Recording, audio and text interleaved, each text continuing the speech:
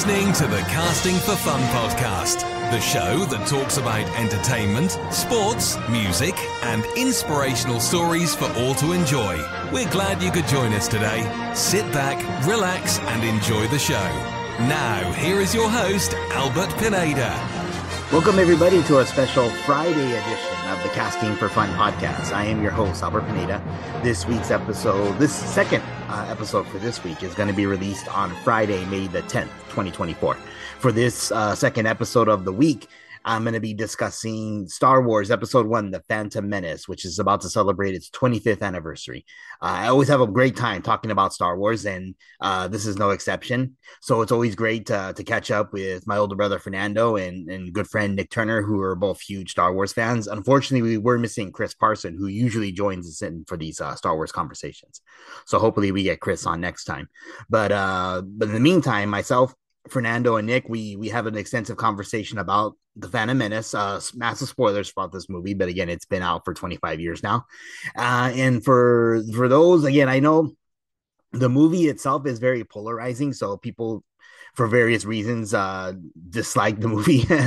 And and you know in some cases very justifiable. I mean again if I'm, I'm open absolutely open for everybody having their own opinion and interpretation of the movie. So please feel free to feel any way you want to about it. But uh for those who are kind of on the fence i i think you might find this uh, conversation between myself nick and fernando to be very interesting. And we might even change some minds. So we'll see who knows? Uh, by no means is this the best Star Wars movie ever, far from it, but it is, uh, I feel, very enjoyable. Uh, better than uh, the reputation it gets. But but again, take a listen. Uh, give us your opinion as to what you think about the Phantom Menace, and I hope you at least just enjoy it as we celebrate it for its 25th anniversary, and the fact that I'm giving you two episodes this week. In fact, actually, next week I'm also going to be giving two episodes as well, since I seem to have a little more free time now that I've uh, completed my master's program. Uh, so yeah, so so stay tuned for more episodes of the Casting for Fun podcast, and please enjoy my conversation with Fernando and Nick talking about the Phantom Menace for its 25th anniversary.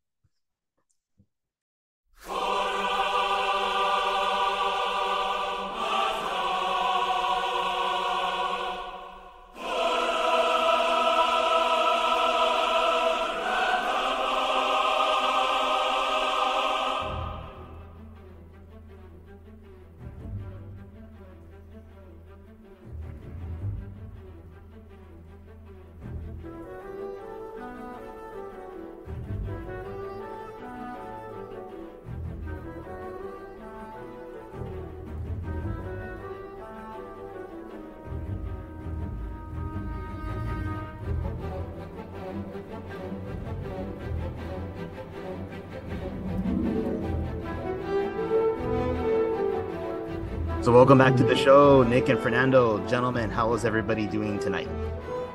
Excelente. Good, pretty good. Good, good to see everybody. And, uh, yo, hope everybody had a, a good uh, Star Wars day, uh, whatever it was that you had going on. Okay, went okay. Went okay. Nothing to complain about, but not much to brag about either.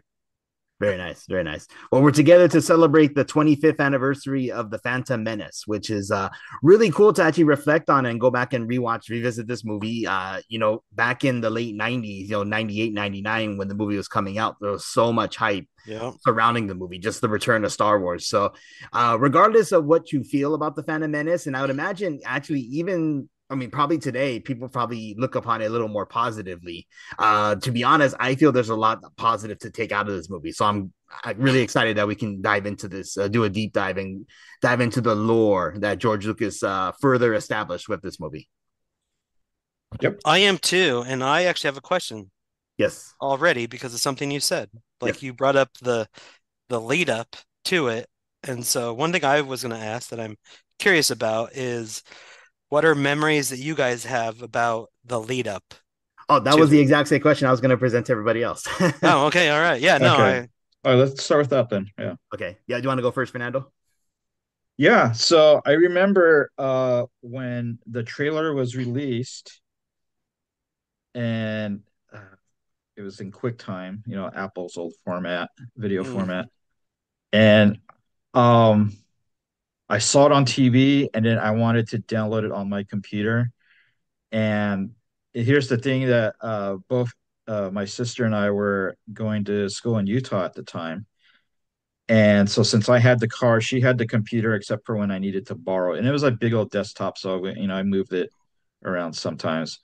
But she needed it, but I wanted to download it, so I went over to her, her house, her apartment, and spent like four hours downloading it on 56k. Only four megabytes big, but it took four hours to download that. Man. Right. Like the kids today's have no idea Oh. the pain we went through. Well, they can watch on YouTube right Yeah, away. and I was just watching it over and over, and I was like, "Oh man, I can't wait!" Because they had the, you know, a clip of the lightsaber fight between Maul and and Obi-Wan, and yeah, I mean, it was it was awesome, and I saw it twice in a theater when I was in Utah too. So yeah, it was it was the first. Okay, so uh, Return of the Jedi was in '83. This was in '99, so it had been what 16 years since the last Star Wars movie. Yeah. That there was a Oh, lot of hype and uh yeah, and then like like afterwards I learned like, you know, how George Lucas was going through a divorce, so he originally wanted to make four of the originals and then he had to condense it down to three because he just wasn't having fun making the third one because of the divorce and um then that's kind of been the standard now like everyone does trilogies because of Star Wars. Star Wars was a trilogy. That is true. Uh, but yeah, that was man, it was just an exciting time. And then I remember seeing a movie a few months before Phantom Menace came out, and the people were waiting in line at the theater. We're like, we're first, and it's like five, six more weeks before it even came out, and people were camping out. I agree. So some of my memories are that people camping out. So I specifically remember, you know, Mann's Chinese Theater. What was it, like five, six months before the movie came out? I mean, it was a long time. People started camping out. In fact, a, a memory I have, Albert, if you recall, uh, was like driving to a concert down in Hollywood and driving by the Chinese theater and yelling out losers at everyone that was camping out in front of the theater. Yeah, yeah. Even even though inside, like part of me wasn't willing to camp, but was jealous that oh they're gonna see be the first ones to see it. Like that's kind of cool. Mhm. But just Yeah. I couldn't pass up the opportunity to yell losers at a whole bunch of people. Right, yeah, of course. Uh, so that, that's a great memory because it was just funny. Uh, and then on that, I remember the Conan O'Brien Triumph skit where Yeah. Triumph goes and interviews the people in line. yeah, that was uh, for and- Attack of the Clones, so And uh, was it for the Attack of the Yeah. Clones? Yeah. show? Technically, yeah, it was. yeah, it was Okay. Attack of the Clones. Yeah. That's right. No, that is correct. You're right. Ah, just still so funny. My bad on that one. Um, I remember the Vanity Fair article when it came out, having to go to 7-Eleven and buy that Vanity Fair. Uh, and then I remember MTV. I I don't remember the first trailer. I don't have a good memory of that, but I remember when we got the music video for Duel of the Fates Mhm. on MTV and how we had like newer footage we hadn't seen and got to hear the song, you know, its an entirety for the first time. Like That was before the movie came out Yeah, or after? Oh, no, it was before. So, like, apart from the- that, yeah. Yeah, I remember apart from the trailer, the you got, we got slightly different footage in the music video. Very nice, very nice. What I also remember was the you know the year prior in '98 when uh, there was that Brad Pitt movie, uh, Meet Joe Black. That was the movie that had the uh, trailer attached to it for the first time, and people were paying Oh, to yes. see that movie with Brad Pitt, and then leaving and actually asking for a refund because they just wanted to watch the the trailer. Right. And later, where afterwards, like uh, NBC News was showing, okay, we're going to show you the trailer on TV. So just here you go, without having to pay for the movie. So it was just in crazy. Just uh, there was so much hype around it, and it was really exciting time to be a fan for sure. Yeah. I mean, just like when, what franchise have people camped out for months just to watch a movie? Mhm. Like, I can't think of another one. Like, no. we've all been to like midnight movies. Maybe and- the second Matrix. I think that's the only one I remember. But still, it was maybe for like a week in advance, not more, not months, like Star Wars. Yeah. Right, I agree. I, I remember Okay. that too. But yeah, I mean, I just remember once again the driving to the concert. Like, I don't even know when the movie comes out, but there's all these people camping out. Like, what's going on here? Wasn't it like Memorial Day? Like that was the Lucasfilms. That was their date. Was Memorial Day, right? Like that's when uh Last Crusade came out. Uh Christ Kingdom of the Crystal Skull. Came out on May 16th. May 16th. Okay. Yeah. Was it? All right. May 16th. So I know they had like for years they had Uh, that date and then Disney started doing All right, I should say this May 16th, Los Angeles, and then the rest of the United States on the 19th. So Okay, some theaters in LA Yeah, got it it. was some Yeah, date sooner. I knew that. Yeah, usually like that that sweet spot, like right in the middle of May, is when we got the the original trilogy and the sequel trilogy, and then May just is a cool month for Star Wars. I mean, uh, George's George Yeah. Lucas' birthday's this And month, and and the Indiana Jones Yeah, first three. Yeah. That trilogy. I don't Lucasfilm. consider I don't consider the other two part. the yeah. Nor nor do I. Very nice, very nice. Well, yeah. So we talk about the the hype for this movie, then we finally actually get to see it. Do you remember what your reaction was? I mean, me personally, I actually really, really enjoyed it. In fact, I think it was kind of maybe like years after where it was kind of where people were really pointing out the faults, like with with Jar Jar, young Anakin. But I, I left the theater really satisfied and really happy with the movie we got initially. Yeah, I did Yeah, too. go ahead. Go first. I- yeah. I remember, I mean, I guess another thing leading up, I remember driving by Temple City Edwards and when tickets, like the day tickets went on sale, like pre-sale, pre-internet, you know, when you had to go Mhm. stand in line. And I remember Yeah. driving by, not even realizing it, and looking over and seeing Danny Jacks standing in line, like wondering, like, it's like nine o'clock. What's he doing there? And it hit me like, oh, Star Wars. And then I still got to see it pretty much when it came out. Uh, took Zach after school, and I remember walking into the theater, and there was this big guy sitting in the back row, right when you walked in, down. Once again, for the young kids, like we didn't have stadium seating, like a Right, slow, yeah. long decline. And yeah, he was in the very back row, and we were like, "All right, I hope it's good." And he was like, "It was amazing." Like he'd been in that seat the whole day. Oh, It was like the it was like the fourth time, like he didn't get up for him to clean. It was like he bought the seat for the day. Um, and I remember watching it. Uh, I still remember, like sometimes when I put the movie on, I still have like that feeling. Um, when Qui-Gon and Obi-Wan start using their lightsabers for the first time and do Yeah. Force Run, like I still remember, like oh my gosh, like sometimes I still have, like I can feel that in myself when I see it because I remember, you know, that was all new. Mhm. It's so All these you know, force powers we hadn't seen before. Yeah. Yeah, now it's nothing but just lightsabers, like lightsabers on the big screen for the first time. It really in Yeah. my life because I was too young to really remember Return of the Jedi in the theater. Mhm. And Yeah. yeah, like I remember I walked out and I loved it. And it, I didn't realize late until later on that like people hated it. And I was like, why do you hate it? Didn't understand it. Mhm. So for me, uh, what was the question again? Like, Oh, just what was your initial thought when you actually oh, initial thought. Um, so, um, like I liked it a lot. It was enjoyable, and like you know, we all know that Anakin becomes Darth Vader, and uh, so Palpatine isn't mentioned as Palpatine in the original trilogy, but my understanding was that he is in some of the books, but I, I never read any of those books. Uh, but I I caught on early on that he was the emperor, um, when he uh you know becomes the supreme chancellor, and then um the the decoy Padme was like she was kind of shocked, like she's like, oh, so this was your motive all along, you know, and I'm like, oh yeah, that's him, that's the emperor.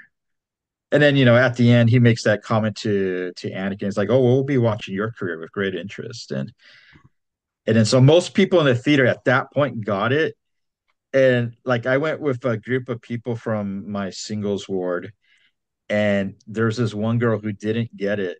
And so she got it at the very end where they at the the funeral for for um Qui-Gon Mhm. and that you know the Yoda and, and Mace are saying, Oh, like there's you know, there's always two, and which one was it? And then and then in the background it kind of fades over to to Palpatine.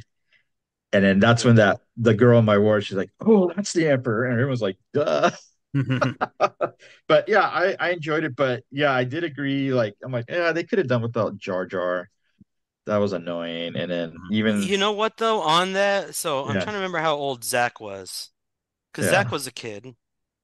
And Zach liked Jar Jar. Like the whole Yeah. Luke Lucas and hey, you know, it's for children too. right, it is. Um, Yeah, yeah. Like I remember going back and asking Zach when I heard how much people hated him. Like I didn't like the motions of Jar Jar and he was kind of dumb and stupid, but Yeah. it didn't bother me personally.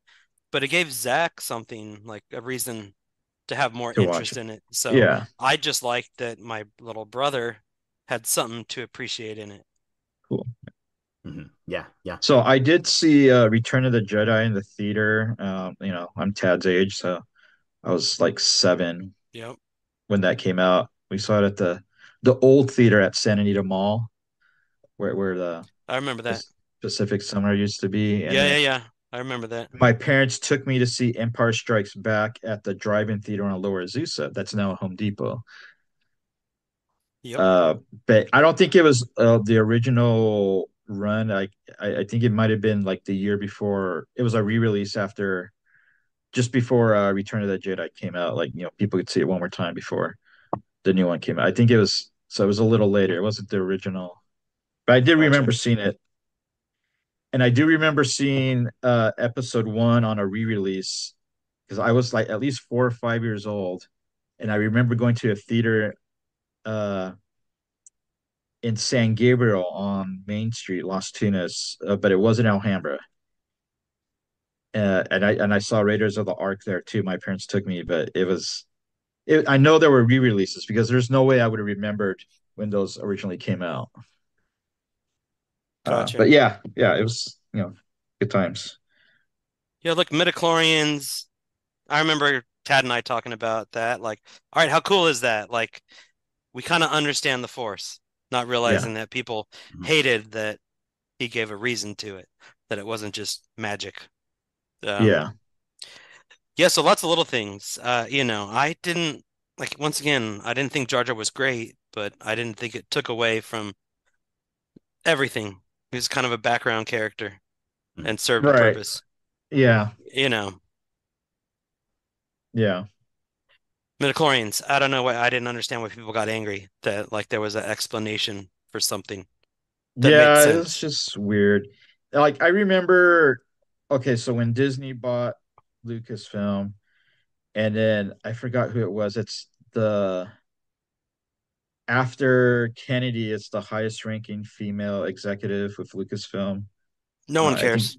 I, I think she's Asian or something. I forgot. But anyhow, she made a comment said, "Oh yeah, we're gonna make way better movies than George or something like that." And and honestly, like the only flaw that Lucas really had was dialogue.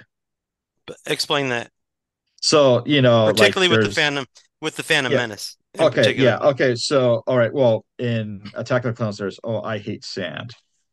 Uh, Right, no, but yeah, uh, let's go to the Phantom Menace. I understand Phantom Menace. that. Okay, so um, you know, it's just it's it's not like the most intelligent dialogue, but but it, again, it's for kids, so I guess my point's kind of mute. So never mind.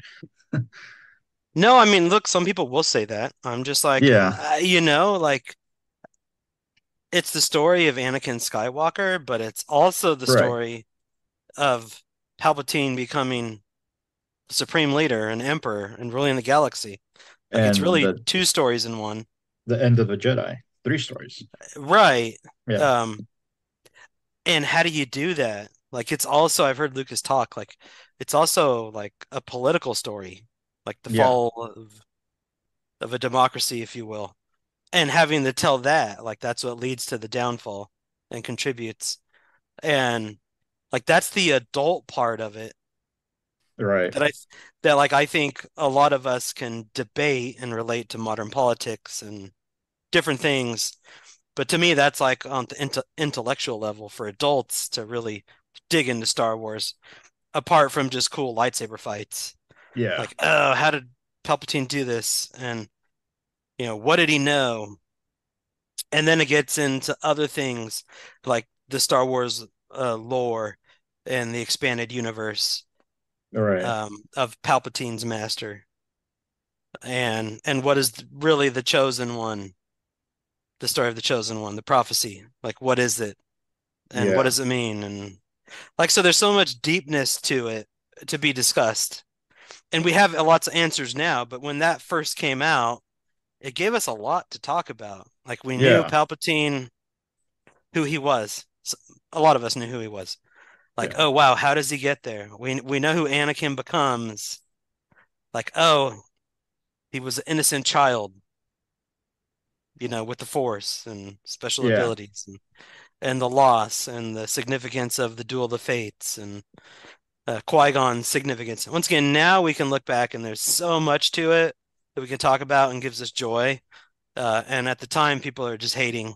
Like oh there's too much dialogue. I'm like Yeah. but all of it mattered in in the story Yeah, it and the, the that's the genius of Lucas is just all the world building and you know it wasn't apparent to me at the time, but now, you know, there, there's that little scene where you get a brief glimpse of um Quinlan Vos over on Tatooine, hmm and and I just remember hearing about that and seeing someone point that out within the last two years. So that you know, there's all kinds of Easter eggs and stuff in there that that he allows that he allowed he put in there and he allowed so so people can write stories about it. You know, right so so here's a question. How many times have you watched the phantom menace versus how many times have you watched any of the three sequels?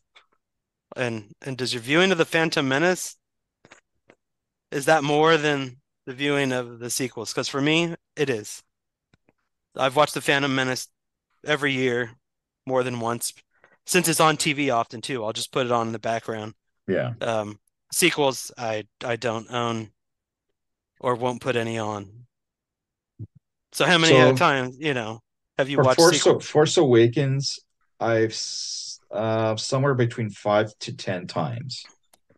since it came but- out Yeah, and only once in the theater. Last Jedi I saw twice in the theater, and I saw it one more time on D plus maybe like a year ago. And Rise of Skywalker once in the theater, once on D plus, and uh, yeah, that's it. Like Phantom Menace. To be honest, I saw it twice in the theater. I rewatched it like before Attack of the Clones and Revenge of the Sith, and again before Force Awakens came out then uh and then I watched it, you know, the, over the last two days. But then I also watched it used to be on YouTube, but it's not there anymore. It was called the anti-cheese edit. And what it is is just they pretty much remove all the Jar Jar scenes and all the parts where Anna goes, Yippee! oh gotcha Yeah, all of that crap. It, so it, it narrows it down to about an hour, about 90 minutes long. Nice so you can Google it and like someone has it hosted somewhere that you can download, but uh, it's not. It was on YouTube. It's not anymore. Anti cheese edit. That's what it's. And they they did it for all three uh, prequels. nice Very nice, very nice. So, so going on, what we've been discussing so much to dive into. So, midichlorians, uh, the origins of the Force, the a prophecy of the chosen one, Palpatine secretly plotting from the very beginning to take over. Uh, lot, lots to dive into. So, let's go ahead and jump into this now. So, there's a few certain scenes, key scenes from the movie that I wanted to insert into the podcast so we can go ahead and discuss about it and Okay. discuss what it means. So, we're gonna go ahead and start with the the first scene that I want to bring up. This is uh uh Qui-Gon having a conversation with Shmi Skywalker as to the origins of Anakin. So this is really important stuff to go into. So let's go ahead and Yeah. Answer this right now.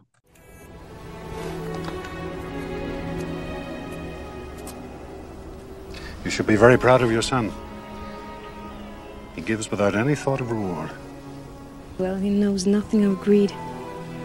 He has a. He has special powers. Yes. He can see things before they happen. That's why he appears to have such quick reflexes. It's a Jedi trait.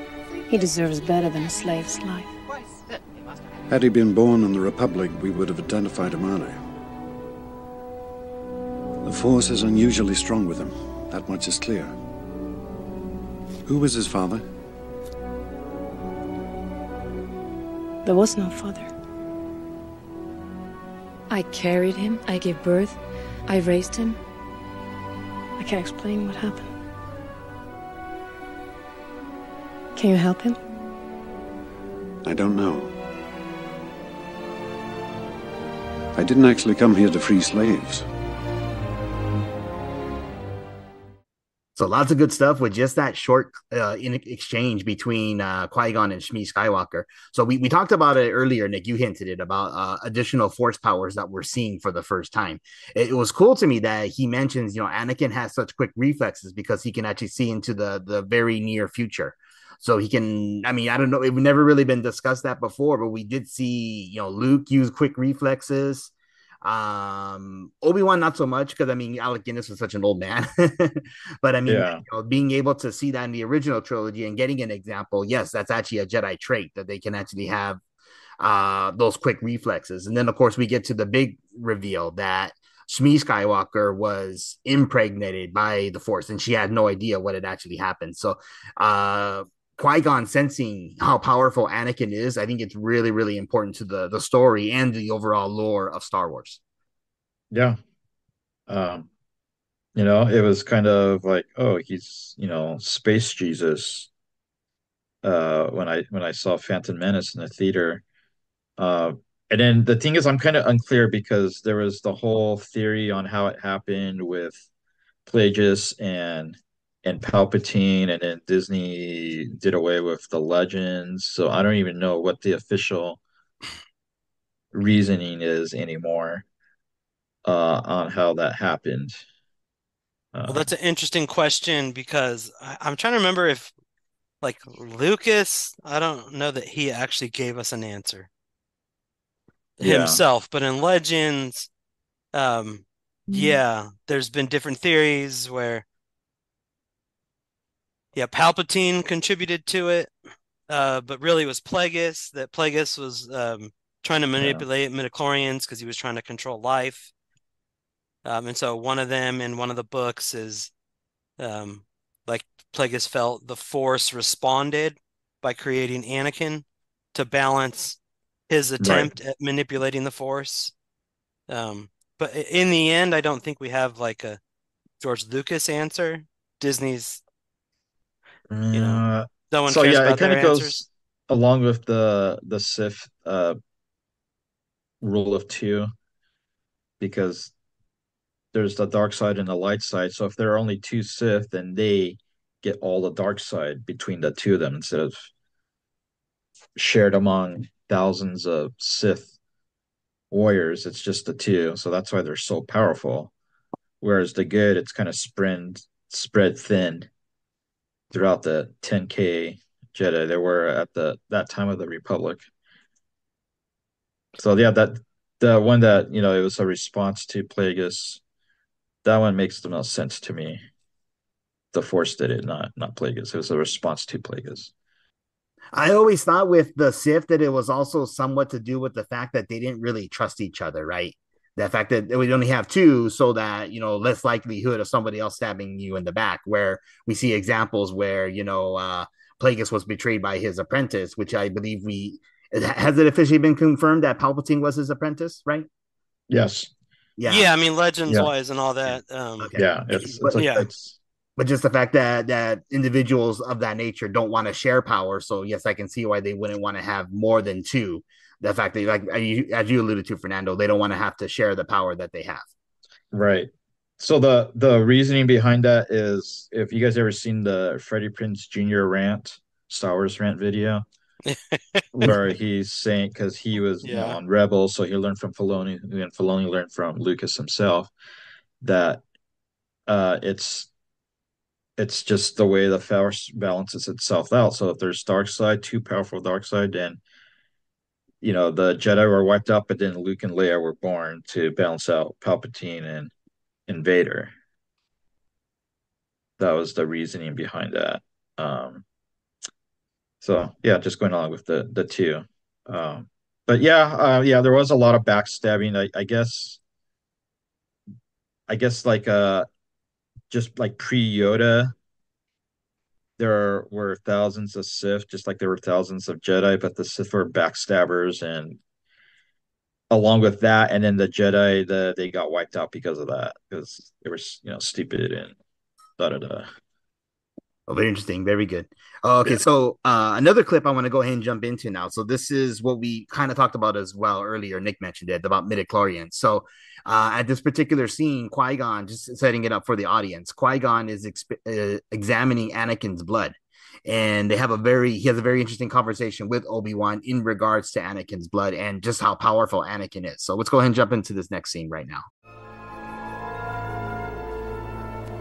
Stay still, Nelly. Let me clean this cut. There's so many. Do they all have a system of planets? Most of them. Has anyone been to them all? Hmm. Not likely. I want to be the first one to see them all. Annie! Bedtime! Ow! There we are. Good as new. Annie! I'm not gonna tell you again. What are you doing? Checking your blood for infections. Go on. You have a big day tomorrow. Sleep well, Annie. Obi-Wan? Yes, Master. I need an analysis of this blood sample I'm sending you. Wait a minute. I need a midichlorian count. The reading is off the chart. Over 20,000. Even Master Yoda doesn't have a midichlorian count that high. No Jedi has. What does that mean? I'm not sure.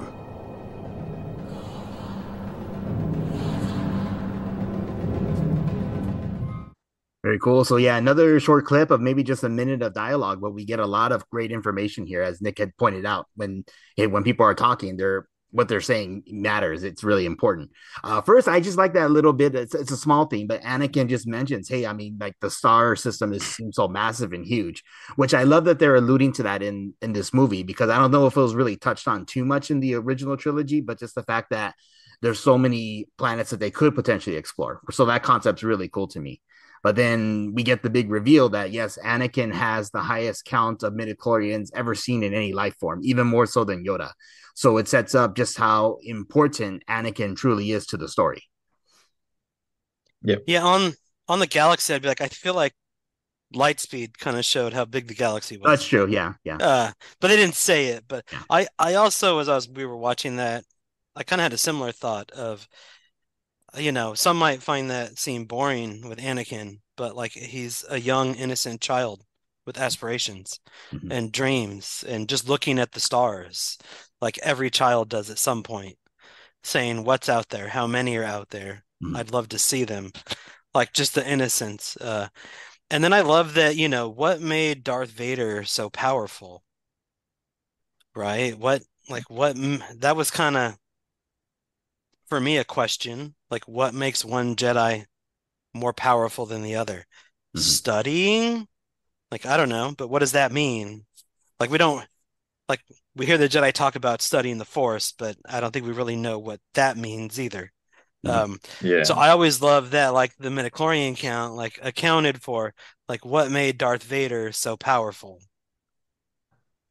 yeah. right? What what made Anakin as such a youngster?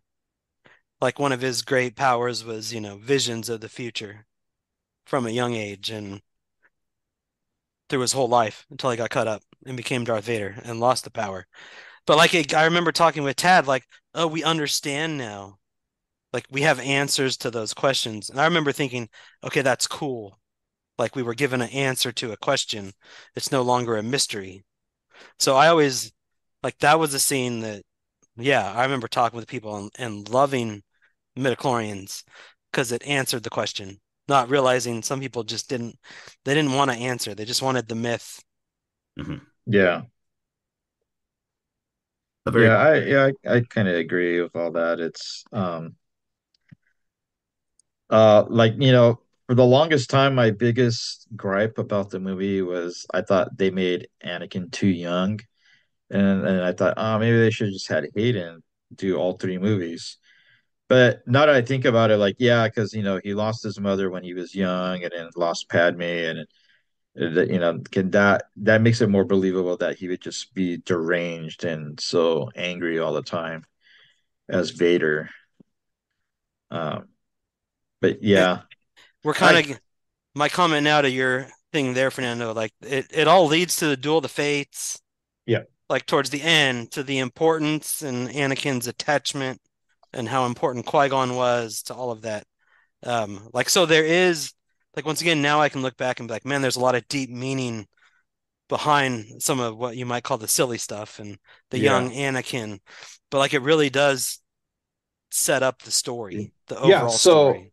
Um, yeah, so there's the scene at the Jedi Temple where uh Mace has this I, iPad or whatever, and he and Anakin's guessing like what's on each what what each picture each picture is on that you know that tablet, and he guesses all of them, and then uh you know they start saying like you know you have attachments to you know your your thought your thoughts dwell on your mother, and then his Anakin's response is, "What does that have to do with yeah, anything?" So what? So that just shows his he doesn't care about attach uh, attachments affecting his jet his Jedi duties in the future. That's right there. That's the seed was planted. Absolutely. In fact, actually, yeah, Fernando, I was we were just going to get to that scene right now. Oh, okay. Uh, next, right. next, time, I think I'll, I'll, I'll let you guys know ahead of time what show, scenes I want to show. yeah. But uh, perfect, perfect. Okay, so the, the whole conversation that Anakin has with the, the Jedi Council or, or Qui Gon, Obi Wan, then Anakin later with the Jedi Council, those scenes are fantastic, and it really establishes the lore of the Jedi. Which again, at the at this point in the Star Wars franchise, we didn't know much of. I mean, only what Obi Wan had taught uh, Luke and what Yoda had taught Luke, but not really a whole lot. So this is really great stuff that we as Star Wars fans are seeing for the first time. So this is uh, Obi Wan and Qui Gon telling uh, the Jedi Council about their attack of Darth Maul and uh, the fact that Qui Gon has found Anakin Skywalker. So let's go and jump into the scene. He was trained in the Jedi arts. My only conclusion can be that it was a Sith Lord. Impossible. The Sith have been extinct for a millennium. I do not believe the Sith could have returned without us knowing. Ah, hard to see the dark side is. We will use all our resources to unravel this mystery. We will discover the identity of your attacker. May the Force be with you. Master Qui-Gon, more to say, have you? With your permission, my master, I've encountered a vergence in the Force. A vergence, you say? Located around a person? A boy. The cells have the highest concentration of midichlorians I have seen in a life form. It is possible he was conceived by the midichlorians. You refer to the prophecy of the one who will bring balance to the Force. You believe it's this boy? I don't presume to. But you do. Revealed your opinion is. I request the boy be tested, Master. Oh. Trained as a Jedi, you request for him, hmm? Finding him was the will of the Force. I've no doubt of that.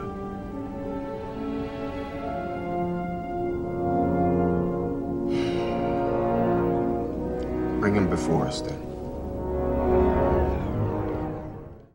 So really great stuff with that scene as well. It's uh it's it's interesting. Again, we see the debates and conversations that the Jedi Council would have, and then we see you know Qui Gon's personality come out that yes he he is a more uh, defiant as opposed to what the, the jedi would normally do and we get to learn more about that later in this movie as well so what were your impressions and thoughts watching this particular scene unfold and we're seeing uh Qui-Gon explain, or we're getting the earliest explanation of the the prophecy of the chosen one who's supposedly to bring balance to the force.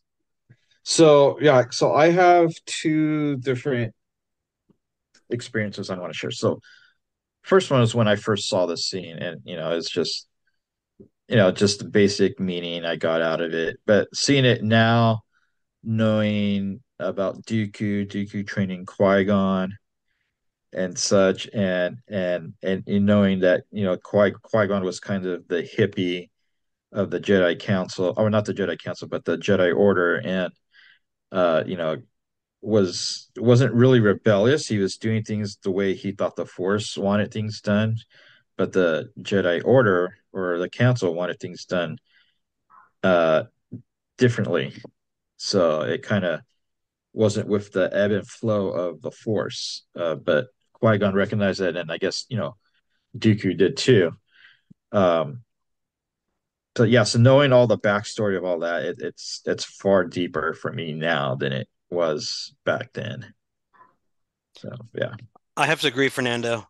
Yeah. Like I'm trying to remember how I felt back when the movie came out. Um, like still wonder, like they just fought someone. Like, why wouldn't you believe them? right. Like that being one question. Uh, but also, like once again at that time in '99, like oh the, you know the dark side's been gone for a millennium. Like no, it can't be them. It has to be something else. Uh, but like this scene is the downfall of the Jedi. Like Yep. now in retrospect, and as you said, you look at Tales of the Jedi, now how that's incorporated with Dooku, and just like this is the, you could say this is the most pivotal scene in Star Wars, where if they would have listened to Qui Gon, who followed the living Force, which is what Yep. he was teaching Obi Wan, um, to just as a Jedi, we follow the Force, not the Council. We Right. just follow the Force. If they would have listened to him and sent like multiple Jedi with him, Yep. uh, he wouldn't have died from Darth Maul. Yep. Um, things would They would have caught him. Yeah. it could have been completely different. Anakin might not have ever fallen, but the Jedi Right. Council, this is their like this is the moment where they fail. This is the Yep. critical moment that leads to the downfall of the Jedi, to Palpatine winning, to Anakin becoming Darth Vader. Like in my Yep. opinion, that is the moment. Um, so yeah, one of the most critical scenes in all of Star Wars today. Yeah, I the so the next the the scene that Albert went the the one where they're testing Anakin. If you notice in the background, the sun is setting uh, on the outside of Coruscant. And You can see from the Jedi Temple, so it kind of just foreshadows, "Hey, this is the sunset of the the Jedi. Your your day is over." Yep. You'll Oh, see it. If, you're gonna play that right, Albert. Yeah, we're gonna come up with that. That's Okay, uh, yeah. So yeah, you'll you'll see that when, when it comes up. But uh, well, two things I wanted to mention really quick to Nick's point about uh, uh, Qui Gon dying that affecting, changing everything. It's an interesting prospect to think about. Like, what if Qui Gon had lived and he was the one who actually trained Anakin? Because we can kind of see that Obi Wan didn't really quite have the patience to deal with Anakin. And of course, Anakin would have probably been a really difficult Jedi to deal with altogether. But uh, if if if Qui Gon had been the one to train him, you know, maybe he, like you Nick said, he probably would have had an easier time controlling him or not controlling him rather, but kind of like I guess teaching him, imparting him, and maybe uh, allowing him to do more. Uh, so yeah, again, it's just Right. a what if scenario, but it, it is very fascinating to think about. And then one other point I wanted to bring up, it's really cool that they mentioned the word Sith for the first time, technically in canon. Yeah. but Yeah. uh, there actually is a deleted scene from A New Hope where an Imperial officer refers to Vader as a Sith Lord. I really wish they had kept it in, but technically, yes, this is the first time we hear the word Sith. Yeah, Right. yeah, yeah. That's right. Okay, so Fernando alluded to it earlier. We're going ahead and jump into that scene now where Anakin is being tested by the Jedi Council, and we get the very iconic line from Yoda about fear and what, what that fear can do to an individual. So let's go ahead and jump into Right. that right now. A ship? A cup. A ship. A speeder. Hmm. How feel you? Cold, sir. Afraid, are you? No, sir. See through you. We can. Be mindful of your feelings. Your thoughts dwell on your mother. I miss her. Afraid to lose her, I think. Hmm? What has that got to do with anything? Everything. Fear is the path to the dark side. Fear leads to anger. Anger leads to hate. Hate leads to suffering.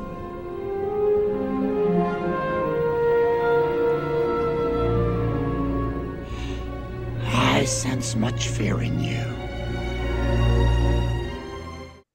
So yeah, a lot to unpack in this, this short scene as well. It's uh when I remember seeing this for the first time, when when Yoda makes that comment, like you know, yo, or when when Anakin what says the comments of what is that have to do with anything, me losing my mom.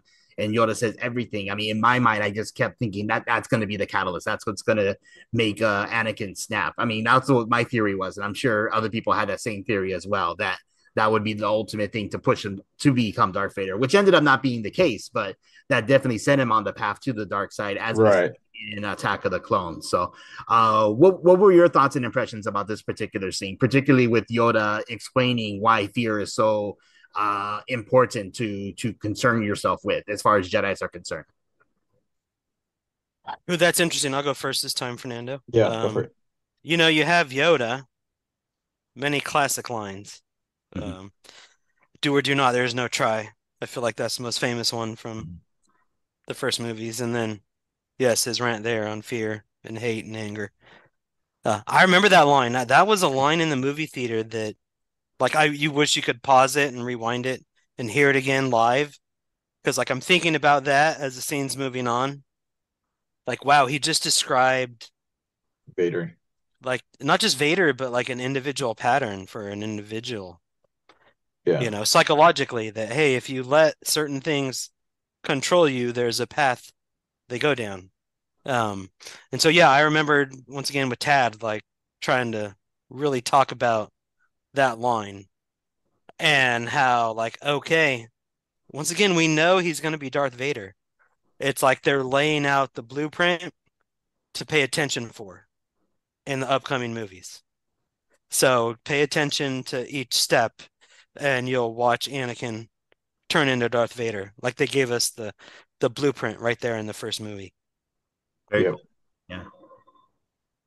Yeah. Uh, I just want to add, oh, I forgot what I was going to say. Uh, yeah, I think, you know, um, I guess I'll, I'll just compare and contrast. So, you know, we see Anakin go down that path, and then we see Obi-Wan like rise above all that, and especially in the Clone Wars when, you know, uh, they when Maul's trying to draw him out for the first time to uh, that one planet. I forgot what it's called. It was kind of snowy because and he starts killing um innocent people there because he wouldn't come out right away so then that's when he finally goes and then then there's the other one where um um you know Maul kills Satine and Obi-Wan doesn't give in to anger and then the same same thing that uh Yeah. at the end of the Clone Wars uh where Maul's trying to lure Anakin to Mandalore, and it's Ahsoka that shows up instead of Anakin and Obi Wan.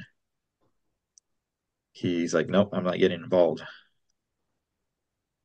And then you see that repeated in Rebels when uh, Obi Wan and Maul fight for the last time, and you know Obi Wan fakes him out with his his Yeah. old uh, attack move. Instead, he just slices him down the middle, and you know just faked out Maul, thinking he was going to go one way, but he went the other. And in and then even in uh, Revenge of the Sith, like Obi Wan didn't try to win; he just waited for Anakin to make a mistake Yep. at the end. Yeah. Very good stuff. Very good. Okay, Yeah. so I want to go ahead and uh, conclude the scene now. So now we're going to get to the part where uh, Qui Gon, Obi Wan, and, and and Anakin are all there with the council, and they tell Anakin why, or they- they tell Qui Gon why they're not going to train Anakin and what they're afraid of, or what what their concern is with regards to Anakin. So let's go ahead and jump into this scene right now. The Force is strong with him. He is to be trained then? No, he will not be trained. No. He is too old. He is the chosen one. You must see it. Clouded this boy's future is. I will train him then.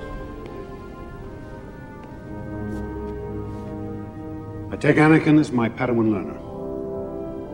An apprentice you have, Qui Gon. Impossible to take out a second. The code forbids it. Obi-Wan is ready. I am ready to face the trials. Our own counsel we will keep on who is ready. He is headstrong, and he has much to learn of the living force, but he is capable. There is little more he can learn from me. Young Skywalker's fate will be decided later. Now is not the time for this. The Senate is voting for a new Supreme Chancellor, and Queen Amidala is returning home, which will put pressure on the Federation and could widen the confrontation. And draw out the Queen's attacker. Go with the Queen to Naboo and discover the identity of this Dark Warrior. This is the clue we need to unravel the mystery of the Sith. May the Force be with you.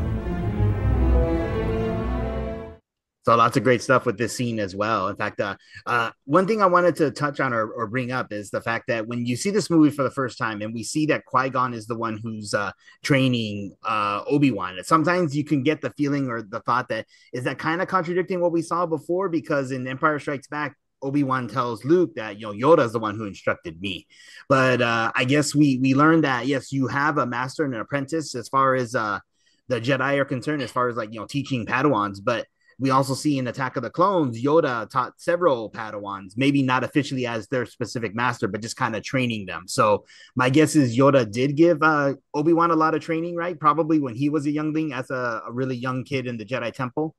Yeah. Oh no, I that's my guess. No, I think what he's referring to is after the fall of the Jedi. How many Jedi Oh, yeah, was- yeah, were right. left? Remember, Yoda taught him training on how to communicate after he died. Okay. Communicate with the dead. Qui-Gon, Like yeah. Yoda be kind of when Qui-Gon died, I think. We can go back further. When Qui-Gon passed away, Obi-Wan became a Jedi Master. And when you're a Jedi Master, like who is your master? Like the Council. Like you probably look up you would look up to Yeah. you know, to the people on the council. And you might look at Yoda as the wisest, Mhm. right? So you might look at certain individuals on the council um, and hold them in high redeem, especially if you lost a master. Because remember, even when Anakin had become a Jedi Master, you know, he still kind of looked to Obi-Wan for guidance. Like there was that natural, you would go to your master for guidance. Uh, but Obi-Wan lost that. And so Yoda became his master, in my opinion. Uh, and then truly became his master when the Jedi fell. And he sent him off to watch Luke. And but also, once again, Obi-Wan continued his training from his master Yoda when he was sent off. Oh, that makes sense. I like that. Okay. Yeah. That's my take on it. Okay. Oh, very cool. Very cool. But then I also just love that that end line from Samuel L. Jackson's character Mace Windu, where he's talking about, you know, this uh this is the clue we need to unravel the mystery of the Sith. So they acknowledge that the Sith had been extinct for a millennium, but I guess they were still weary or cautious about the Sith, right? So they, if they can find Darth Maul and they can prove that yes, he is a Sith Lord, that would essentially help the Jedi, right? So I can see where they would want to find Darth Maul as far as uh, being able to resolve this conflict, or I guess like uh, uh, re- yeah, resolve what that's been going on with the the conflict between Jedi's and Sith at this point, right? Yeah.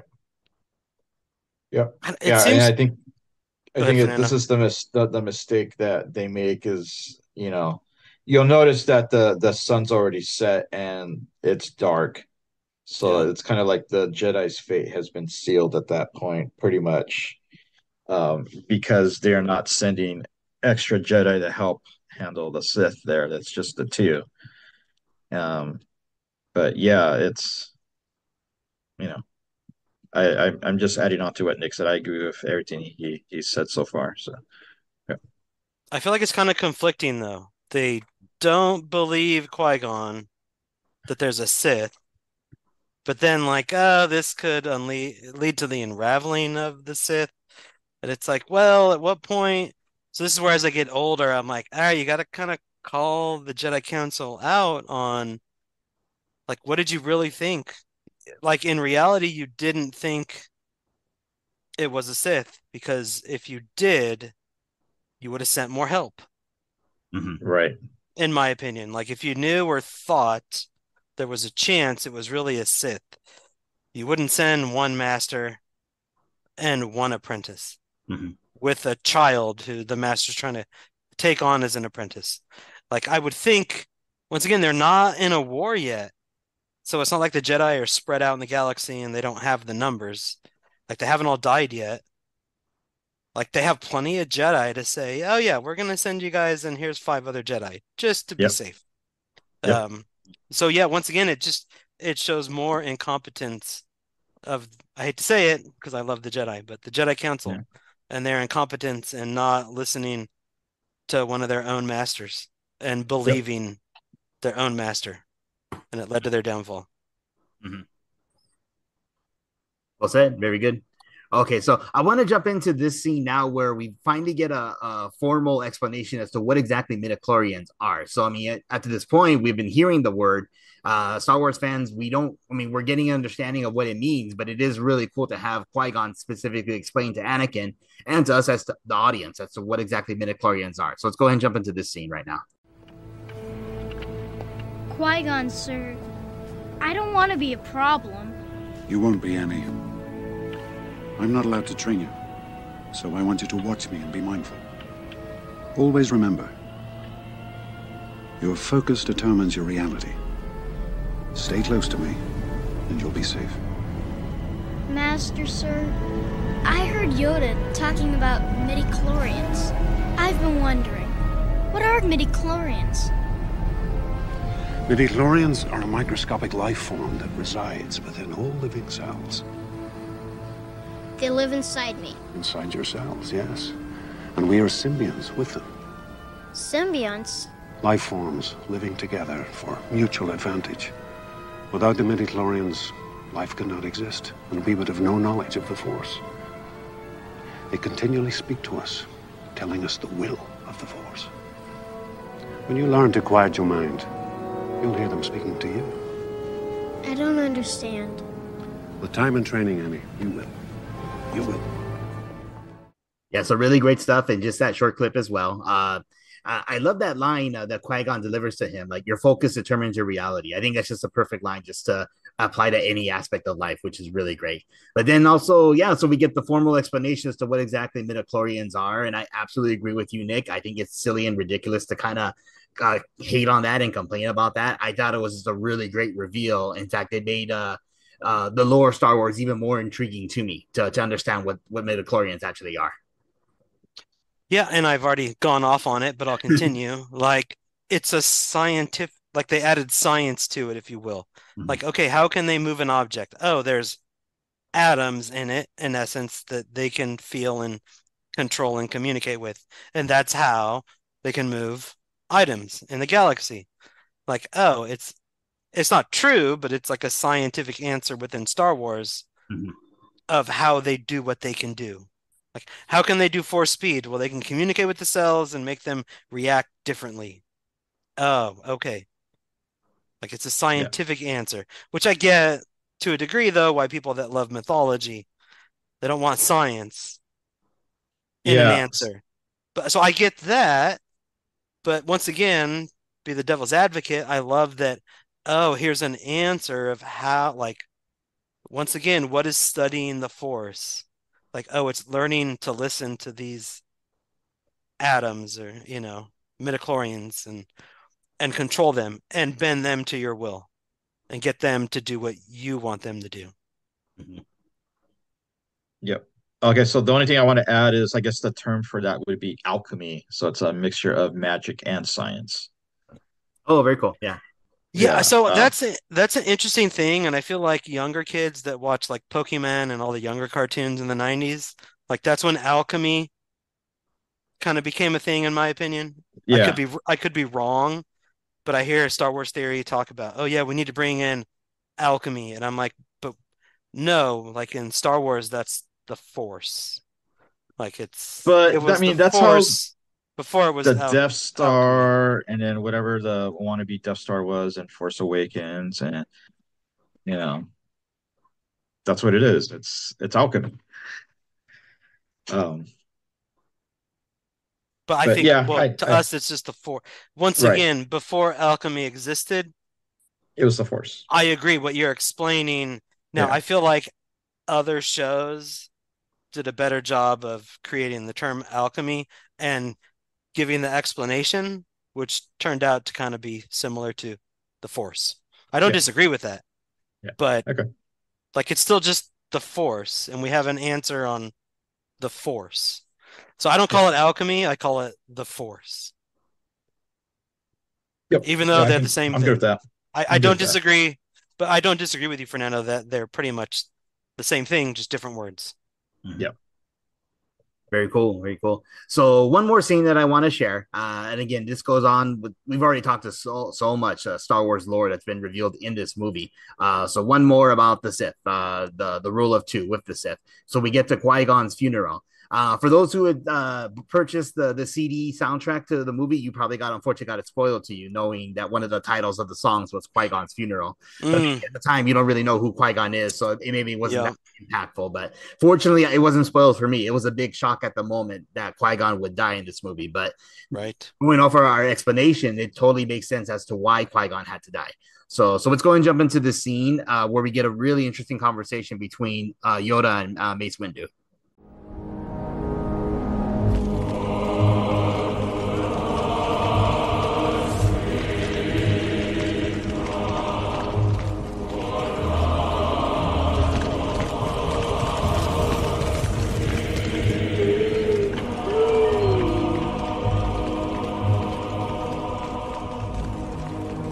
Happen to me now? Council have granted me permission to train you. You will be a Jedi. I promise.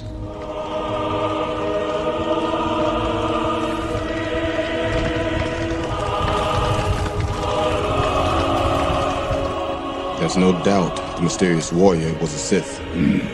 Always two there are. No more, no less. A master and an apprentice. But which was destroyed? The master or the apprentice?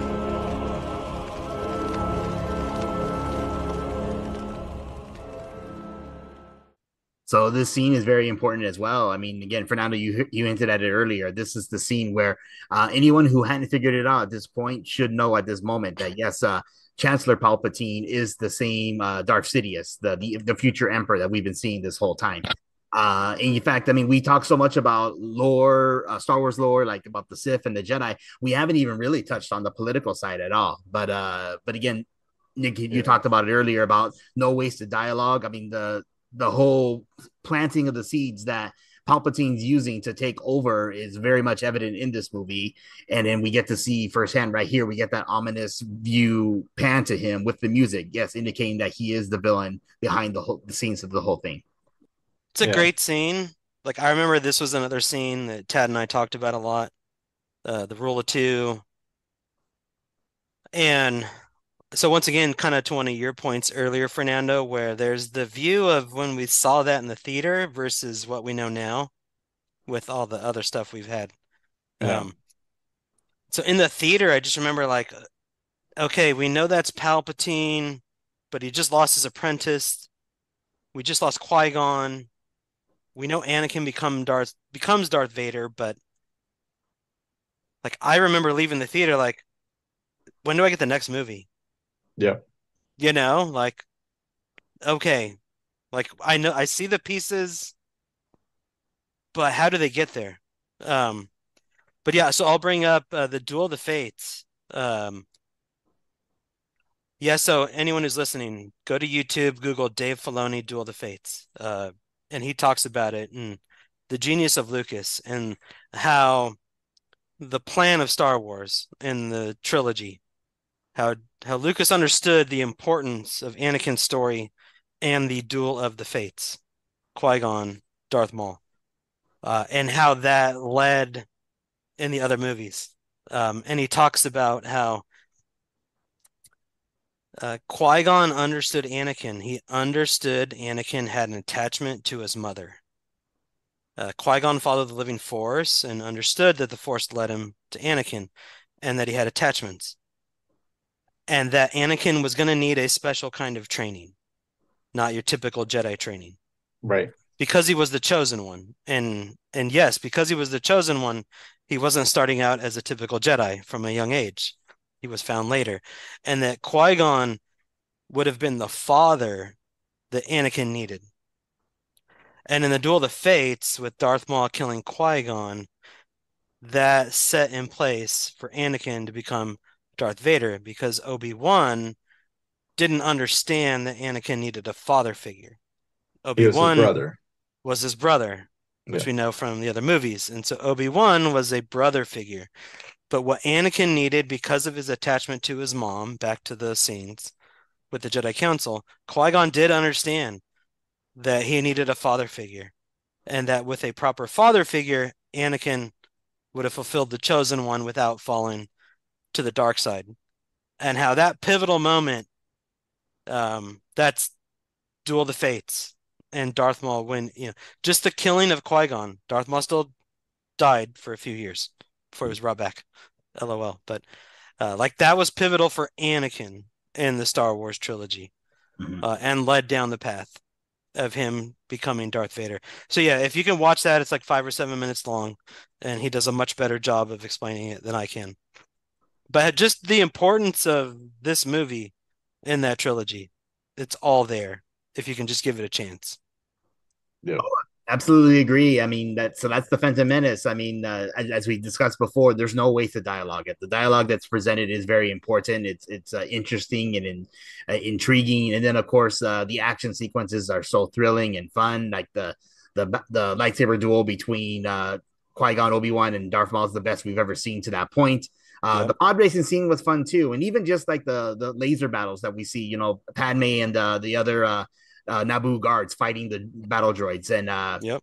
yeah, every, everything about this movie is really great. Uh, yes, there are flaw- faults with Jar Jar and and young Anakin, but again, if you can get past that, this is a really exciting, really fun uh, Star Wars experience, in my opinion.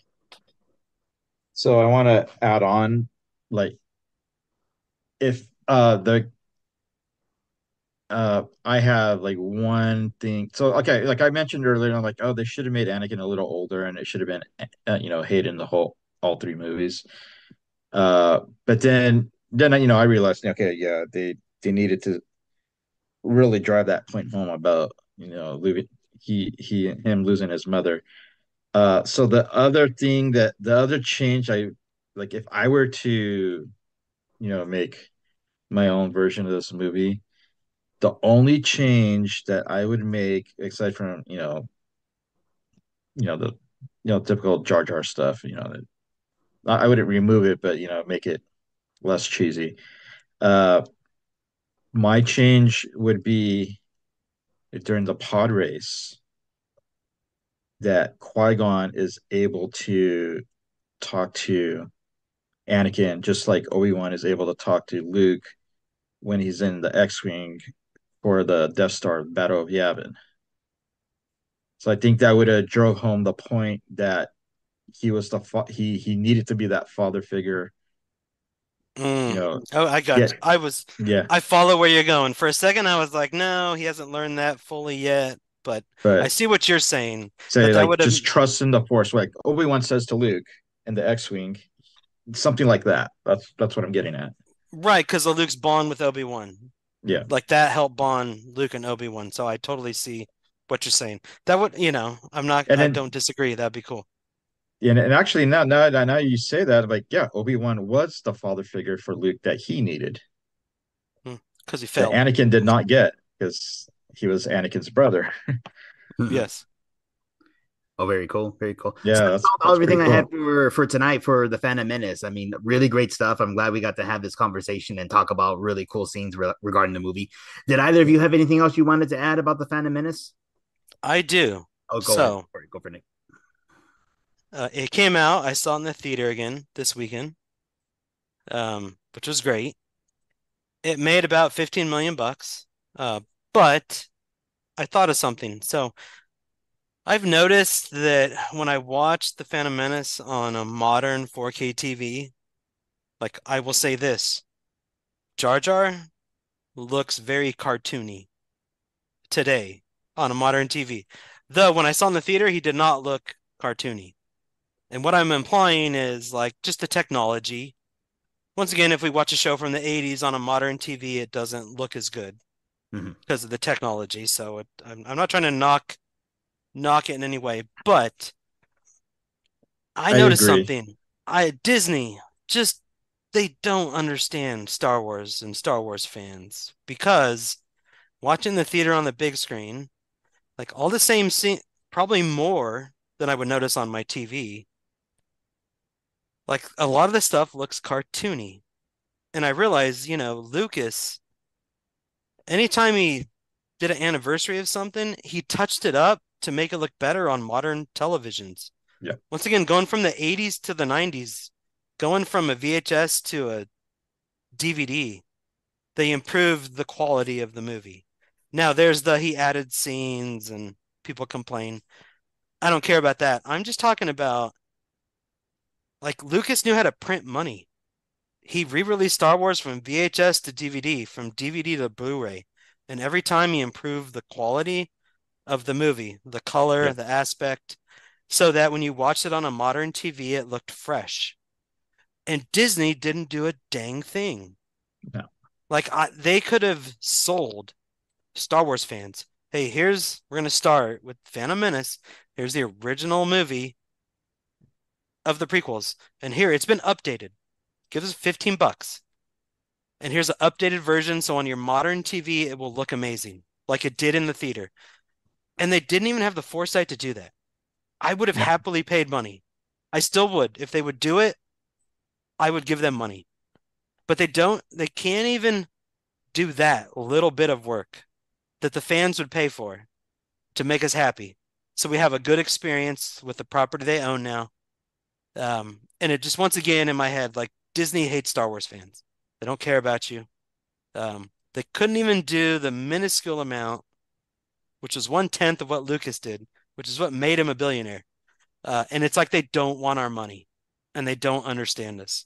So I just had to, I wanted to rant on that. Yeah, I I just want to add that the yeah the CGI did look dated, and then they didn't uh, touch it up like you said for modern resolutions and all that. So yeah, I totally agree with you. But would you pay, would you buy an updated version so it would actually look better on a modern TV? That's the question. Oh, I, would. wouldn't buy it, but I would definitely see it in the theater. And they're hurting for money, so yeah, it's a no-brainer that they should have done that. But Right, the movie's made. They just got, I mean, it's gonna cost some money, but they, they Just just made touch it up, yeah. 15. Well, they just made 15 million. Like that couldn't have paid for it, and then you could get it get once again. That's money. But once Yeah. again, the the joke on Lu of Lucas used to be that like, oh, how many times have you bought Star Wars? Right. Right? You bought Star Wars like six times. It's the same thing. He made minor improvements, and the fans would go spend money on it. And it's like Disney, we would all s- we would spend money on it. Like you'd you'd probably if you saw it once, Fernando, you'd be like, okay, if I'm gonna watch it at home and show my children, that's the version I want them to see. On a like Yeah. so it feels like it did when I was younger. Right. Um, but they just couldn't even do the bare minimum of touching it up. No. It's crazy. And I guess uh, you know, it could be like you know, they didn't want to touch Lucas. It's his move. They didn't want to do that. So they probably do it to their own, but nobody wants to see their own. I call BS on that. Like they didn't have Yeah. to do what Lu what he did, which would be add scenes and add Yeah. little things. I I don't want that. I want it to stay as it is. I just want it to look better on a 4K TV Yeah. from a movie that was made in 1999, pre like HD Blu-ray full quality film. Um, that's it. Is that too much to ask for from a quote unquote the greatest company on earth for entertainment? Yep. Mhm. Yep. No, good point. Very nice. I think, uh, and then the last thing, uh, just a little bit unrelated, but yeah, I was, I wanted Qui-Gon to survive one more movie. I thought he was an awesome character. Um, so yeah, it sucked when he died. I agree. Yeah, yeah, Very nice. Well, yeah, I guess we can all agree that the Phantom Menace is an enjoyable experience. So anyone who hasn't seen it in a while, I definitely recommend checking it out. Uh, I guess it's still in theaters for a little bit longer, right? If anybody wanted the theater experience, I don't know. I haven't looked. just this weekend. Okay. yeah. When they It- did Return of the Jedi, was it last year or two years ago? It was like really quick, like less than a week. Yeah, because I was gonna like, oh, I'll go see it the next week, and it it was already gone. Yeah. But uh, but yeah, most likely people who are listening to the show, you own it already, uh, either digitally or on DVD, or you probably have a Disney Plus subscription. So yeah, I definitely recommend checking it out and uh, maybe watch it with fresh eyes, considering all the the lore stuff that we explained in this podcast, which I hope people found really enjoyable and fun. Uh, if there's nothing else, we'll go ahead and wrap up. Uh, any other last thoughts? Or are we good to wrap up? I'm just looking. I see at least in Dallas, around my theater, it's it's there to Thursday, but Friday, I guess there's new movies coming out. So you got till Thursday to possibly see it in the theater. Very cool. Also, hopefully everybody has an enjoyable time if you do, in fact, uh, watch the Phantom Menace, which we highly recommend you do. Uh, but nothing else. Okay, Nick, Fernando, thank you for giving me your time tonight. It's always a blast talking Star Wars, and we'll do this again pretty soon. Yep. Sounds Thanks good. us. Good Okay, thank you, time. everybody. Have a good night.